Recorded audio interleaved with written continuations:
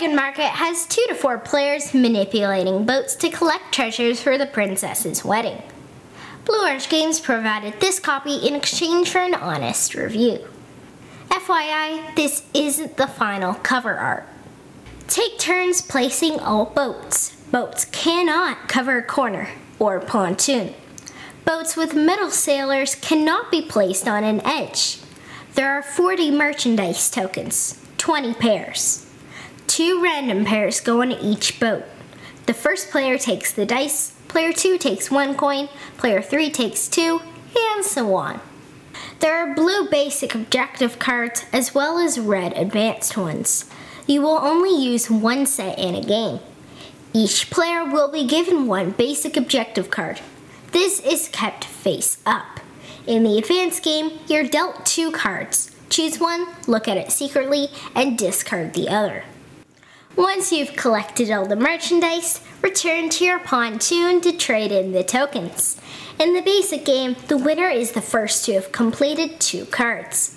In the advanced game, the winner is the first to have completed three cards. See those icons at the bottom? Those are special abilities gained after completing that advanced objective card. On your turn, you'll roll the dice to gain 6, 7, or 8 movement points. You may use those coins I mentioned earlier to gain additional movement points. No more than 2 coins can be used per turn. To gain additional coins, simply end your turn before using up all of your rolled movement points. For example, if you rolled a 6 but only moved 4, take 2 coins. So how do you move? Your pawn can move orthogonally, forward, backward, left, and or right. Boats rotate on a 90 degree angle depending on where the sailor is. If the sailor's in the middle, boats can turn in a cross pattern. If the sailor is in an end, boats can turn in an L shape. Boats cannot turn if they'll go off the board or collide with another boat or pontoon you automatically collect merchandise either by passing over a token or ending on one. You cannot pick up an item that is not on your card. You also cannot move over sailors. You can pass through another player, although you can't finish your turn in the same space. Roll dice, move boats, and use your pawn to collect the items shown on your cards. That's Dragon Market. There's no reading or math in Dragon Market, just a whole bunch of illustrations and, in the advanced game, abilities that are explained in the back of the rulebook.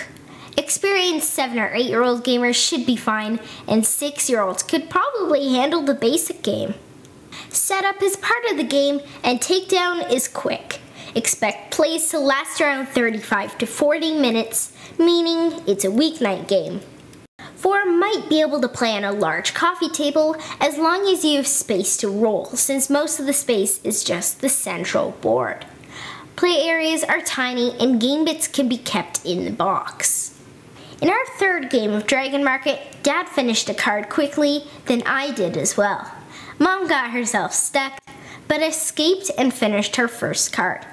Dad finished his second card and was close to finishing his third when I finished my second. Our battle kept putting Mom in a bad position. Actually, she did that on her own. Anyhow, I was one item away from finishing my third card. Mom was stuck in the corner again. Dad made it back to his pontoon for the win. It was really exciting. Dragon Market offers a surprising amount of brain burn. There's more of a puzzle here than I expected. I like that. It's especially fun to see Mom get stuck each game. You need to plan, or else you'll be like her. The insert is excellent, the pawns are easy to manipulate, and the art is cute. I wish the boats had lips so that the tokens didn't slide off so easily when moving them. The pontoons have symbols for colorblind people? Why aren't those symbols on the pawns? That seems like a mistake. I prefer the advanced variant. Even though you need to complete an additional objective, the abilities are super powerful. I also think they make the games quicker because you have this game-breaking, but not in a bad way, power. Unless you're playing with very young kids, I recommend using them all the time.